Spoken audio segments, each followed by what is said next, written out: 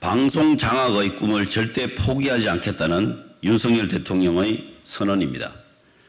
윤석열 대통령이 방송통신위원장으로 검찰 출신 김홍일 권- 국민권익위원장을 지명하며 2차 방송 장악에 나섰습니다.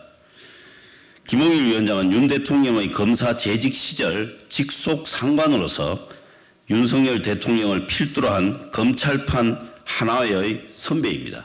방송통신 관련 커리어나 전문성이 전혀 없는 특수통 검사가 어떻게 미디어 산업의 미래를 이끌어 간단 말입니까?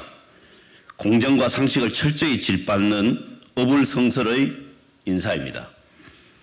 내가 모르는 사람이어도 좋다더니 결국 도로 검사입니까? 50 신군부가 정치 군인들로 국가 요직을 독식했듯 대통령이 임명하는 모든 자리에 특수통 검사들로 채우려고 합니까? 윤석열 대통령은 검찰 출신 말고는 등용할 인재가 없다고 말하지 마십시오.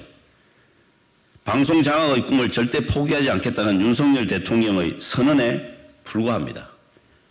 검찰 수사하듯 방통위원회를 방송 장악에 앞세우겠다는 대통령의 선포에 경악을 금할 수 없습니다.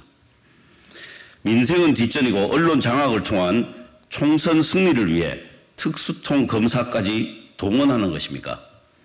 국민은 윤석열 정권의 탐욕에 방송의 공정성과 공공성이 무너지는 것을 결코 좌시하지 않습니다.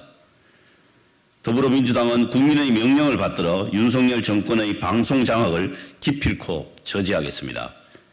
윤석열 대통령은 김홍일 위원장의 임명을 철회하고 국민의 눈높이에 맞는 인사를 추천하지 않는다면 국민의 준엄한 심판을 각오해야 할 것임을 엄중하게 경고합니다.